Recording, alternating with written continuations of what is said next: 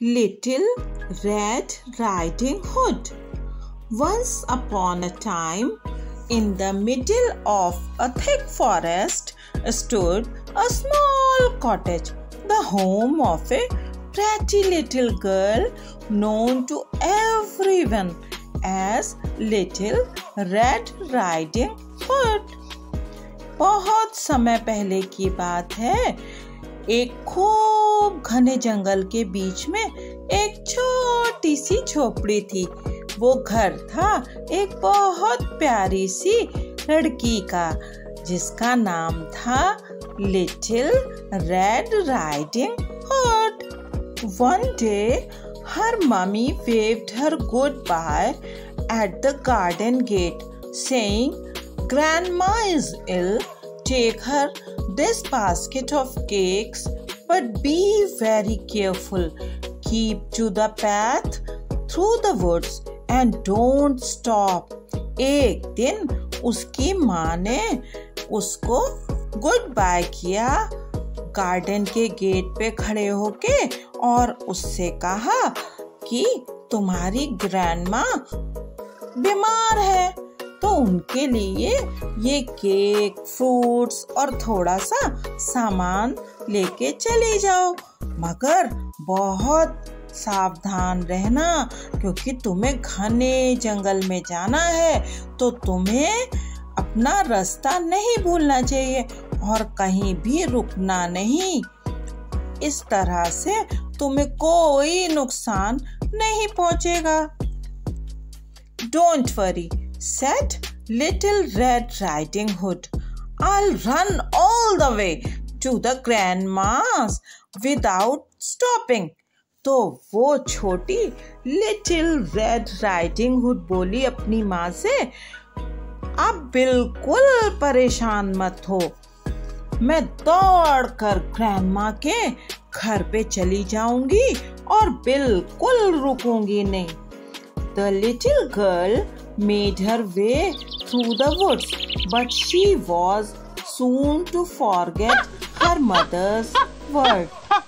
छोटी बेटी जो छोटी सी लिटिल रेड राइडिंग हुड थी वो जंगल में चली गई मगर थोड़ी ही देर बाद वो अपनी माँ की सारी बातें भूल गई What lovely strawberries and so red.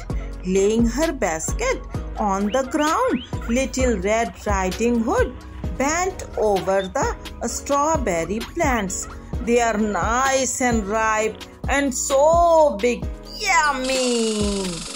तो रास्ते में उसने ढेर सारी स्ट्रॉबेरीज लगी हुई देखी तो उसने उन स्ट्रॉबेरीज को देख के कहा, अरे वाह, कितनी अच्छी स्ट्रॉबेरीज हैं और कितनी लाल हैं।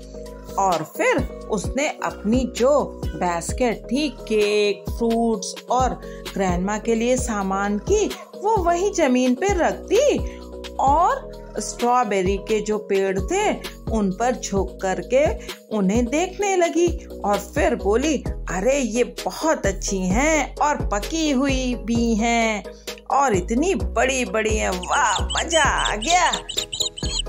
Little Red Riding Hood ran back and forth popping strawberries into her mouth suddenly she remember grandma and the basket and hurried back towards the path.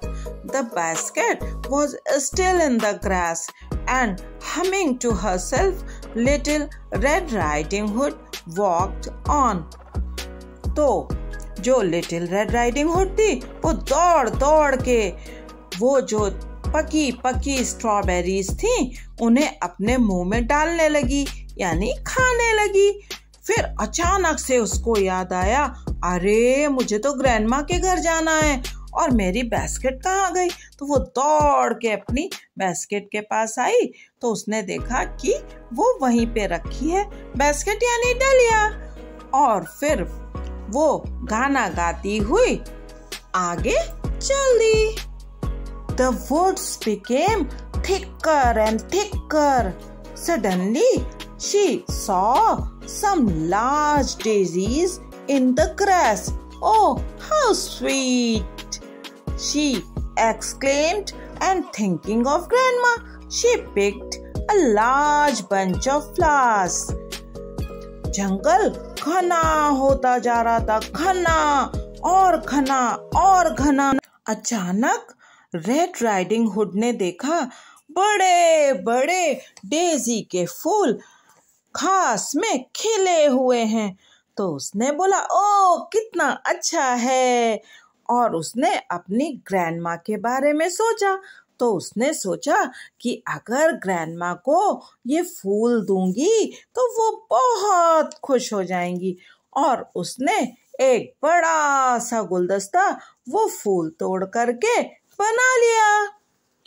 In the meantime two wicked eyes were spying on her from behind a tree.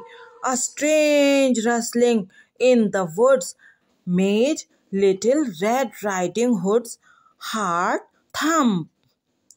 उतनी देर में दो चालाक क्रूर बदमाश आँखें उसको देख रही थीं एक पेड़ के पीछे से और एक अजीब सी आवाज़ जंगल में आ रही थी।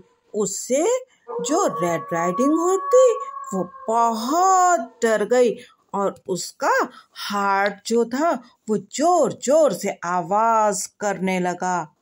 Suddenly she heard the sound of a gruff voice which said where are you going my pretty girl? All alone in the woods. तो एक अचानक से उसने बहुत भारी आवाज़ सुनी। वो आवाज़ बोल रही थी कि, मेरी प्यारी लड़की, तुम कहाँ जा रही हो? अकेली अकेली इस घने जंगल में। I am taking grandma some cakes said Little Red Riding Hood in a trembling voice तो डरते डरते डर से कांपती आवाज़ में रेड राइडिंग हुड ने कहा, मैं अपनी ग्रैंडमा के लिए थोड़े से केक लेके जा रही हूँ। The big bad wolf asked does grandma live by herself तो जो बड़ा सा वुल्फ था भेड़िया उसने पूछा क्या ग्रैंडमा अकेली रहती हैं Oh yes, replied Little Red Riding Hood, and she never opens the door to strangers. तो रेड राइडिंग हुड ने कहा हाँ हाँ मगर मेरी जो ग्रैंडमा है वो किसी भी अजनबी के लिए दरवाज़ा नहीं खोलती हैं goodbye. Perhaps we'll meet again, replied the wolf. तो वो भेड़िया बोला गुड बाय हो सकता है हम दोबारा मिले देन ही लोप जावे thinking to himself I gobble the grandmother first then line wait for the grandchild तो वो जल्दी से छलांगे लगाते हुए भेड़िया भाग गया। अपने मन में सोचता हुआ कि मैं पहले ग्रैंड माँ को खा जाऊँगा, उसके बाद आराम से लेट करके इस छोटी लड़की को भी खा जाऊँगा। At last the cottage came in sight the wolf rapped on the door दौड़ते दौड़ते उस भेड़िए को ग्रैंडमा की कॉटेज दिख गई और उसने दरवाज़ा खटखटाया Who's there? cried grandma from her bed. दरवाजे पर कौन है ग्रैंडमा ने अपने बिस्तर पे लेटे लेटे कहा, क्योंकि उनकी तबीयत खराब थी ना it's me little red riding hood I've brought you some cakes, replied the wolf, trying to hide his gruff voice. तो वो जो भेड़िया था उसने अपनी आवाज़ को थोड़ा सा रेड राइडिंग हुड की तरह बनाते हुए कहा कि ये मैं हूँ छोटी सी रेड राइडिंग हुड मैं आपके लिए थोड़े से केक लेके आई हूँ ग्रैंड माँ कम इन सेड ग्रैंड माँ अंदर आ जाओ ग्रैंड माँ ने कहा A horrible shadow appeared on the wall. Poor grandma. तभी ग्रैंडमा ने देखा कि दीवार पर एक बहुत भयानक परछाई दिख रही है बेचारी grandma in one bound the wolf leapt across the room and in a single mouthful swallowed the old lady. एक ही झटके में वो भेड़िया अंदर आया और उसने ग्रैंड माँ को एक ही बार में निगल लिया Soon after, little Red Riding Hood tapped on the door. थोड़ी देर बाद लिटिल रेड राइडिंग हुड वहाँ आ गई और उसने दरवाज़ा खटखटाया। Grandma can I come in she called grandma क्या मैं अंदर आ जाऊँ? उसने बोला। Now the wolf had put on the old lady shawl and cap and slipped into the bed अब तक उस भेड़िए ने ग्रैंड माँ के कपड़े पहन लिए थे। उनका शॉल ओढ़ लिया था, उनकी कैप लगा ली थी और उनके बिस्तर में लेट गया था। Trying to imitate grandma's voice he replied open the latch and come in तो ग्रैंडमा की तरह आवाज़ में बोलने की कोशिश करते हुए उसने कहा दरवाज़ा खोल लो और अंदर आ जाओ What a deep voice you have, said the little girl in surprise. तो उस छोटी लड़की ने आश्चर्य में कहा ग्रैंडमा आपकी आवाज़ इतनी भारी कैसे हो गई the better to greet you with said the wolf तो वो भेड़िया बोला, तुम्हारा अच्छे से स्वागत करने के लिए. Goodness what big eyes you have तो वो रेड राइडिंग हुड ने फिर से पूछा, अरे माँ, दादी माँ, कितनी बड़ी बड़ी आँखें हैं आपकी? The better to see you with तो वो भेड़िया बोला जिससे मैं तुमको अच्छे से देख पाऊँ। And what big hands you have said little red riding hood और आपके हाथ कितने बड़े बड़े हैं? उस रेड राइडिंग हुड ने पूछा। The better to hug you with said the wolf तो भेड़िए ने कहा, जिससे मैं तुमको बहुत अच्छे से प्यार कर सकूँ। What a big mouth you have! The little girl murmured. आपका मुँह कितना बड़ा है वो छोटी लड़की ने अपने आप से कहा the better to eat you with the wolf and jumping out of bed he swallowed her up too Then, with a fat, full tummy, he fell fast asleep. तो वो भेड़िया बोला जिससे मैं तुमको अच्छे से खा सकूँ। और उसके बाद उसने छलांग लगाई और एक ही बार में उस छोटी सी लड़की को निगल गया।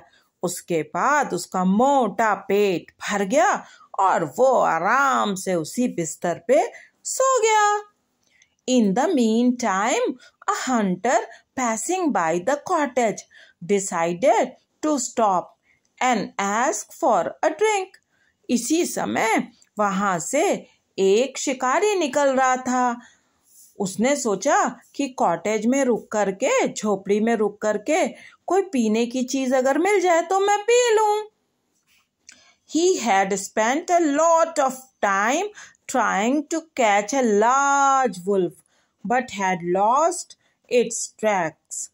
वो भेड़िए को पकड़ने के लिए जंगल में घूम रहा था मगर उसने भेड़िए का जो साइंस थे यानी चिन्ह थे वो खो दिए थे तो वो बहुत थक गया था the hunter could hear a strange whistling sound coming from inside the cottage तो शिकारी ने एक अजीब सी आवाज़ झोपड़ी के अंदर से आते हुए सुनी।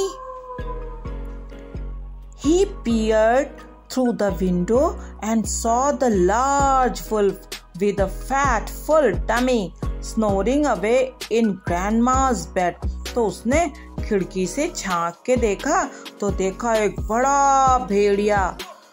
भरे हुए पेट के साथ ग्रैंड माँ के बिस्तर पे लेट के खर्राटे ले रहा है। The wolf he won't catch away this time तो उस शिकारी ने अपने मन में सोचा अच्छा भेड़िया, अब की बार तुम नहीं बचोगे। Without making a sound the hunter loaded his gun and opened the window. He pointed out the barrel straight at the wolf's head and bang! The wolf was dead. उस शिकारी ने कोई आवाज़ नहीं की और धीरे से अपनी गन को लोड किया, यानी उसमें गोलियाँ डाली और धीरे से खिड़की को खोला उसके बाद उसने अपनी बंदूक की नली उस भेड़िए की तरफ़ कर दी और बैंग भेड़िया मर गया, यानी उसने गोली चलाई और भेड़िया मर गया। Got you at last shouted the hunter you will never frighten anyone again तुमको आखिरकार मैंने पकड़ लिया। अब तुम किसी को डरा नहीं पाओगे। ये कह के शिकारी ज़ोर से चिल्लाया। He cut open the wolf's stomach. And to his amazement, out popped grandma and little red riding hood, safe and unharmed. उसने भेड़िए का पेट काट दिया और उसने अंदर देखा बड़े आश्चर्य से कि अंदर से ग्रैंडमा और वो छोटी सी लिटिल रेड राइडिंग हुड निकल आए और उनको कोई नुकसान नहीं पहुँचा था। You arrive just in time murmured the old lady तो वो बूढ़ी दादी माँ बोली, तुम बहुत सही समय पे आ गए thank you it's safe to go home now the hunter told little red riding hood the big bad wolf is dead and gone and there is no danger on the path तब उस शिकारी ने little red riding hood से कहा, अब तुम्हें कोई खतरा नहीं है। ये बड़ा वाला भेड़िया मर गया है। अब सुरक्षित रहेगा कि तुम अपने घर चली जाओ। Much later little red riding hood's mother arrived worried because her little girl had not come home तब तक थोड़ी देर बाद जो लिटिल रेड राइडिंग हुड की माँ थी, वो वहाँ आ गई क्योंकि वो बहुत डर रही थी क्योंकि उसकी छोटी बेटी अपने घर नहीं पहुँची थी। When she saw little red riding hood safe and sound she burst into tears of joy जब उसने अपनी छोटी सी लिटिल रेड राइडिंग हुड को एकदम ठीक देखा तो उसको बहुत खुशी हुई और वो एकदम से खुशी के मारे रोने लगी। After thanking the hunter again little red riding hood and her mother set off towards home उस शिकारी को बार बार थैंक यू कह के लिटिल रेड राइडिंग हुड और उसकी मम्मी अपने घर की तरफ़ चल पड़े।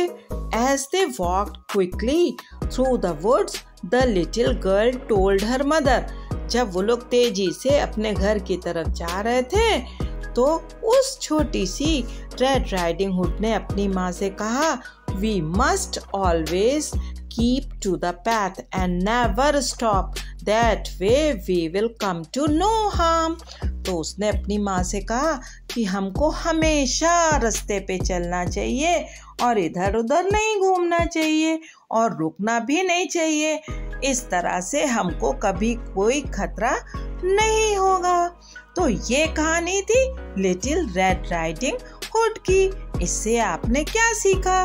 मॉरल ऑफ़ द स्टोरी है कि हमको रास्ते में कोई चीज़ें देख के कभी भी अपना ध्यान भटकाना नहीं चाहिए। और हमेशा सीधे रास्ते पे चलना चाहिए। और जो बड़े लोग हमसे कहें, हमें वो सारी बातें माननी चाहिए। क्योंकि बड़े लोगों को एक्सपीरियंस होता है ना। वो लोग जानते हैं। थैंक यू बच्चों।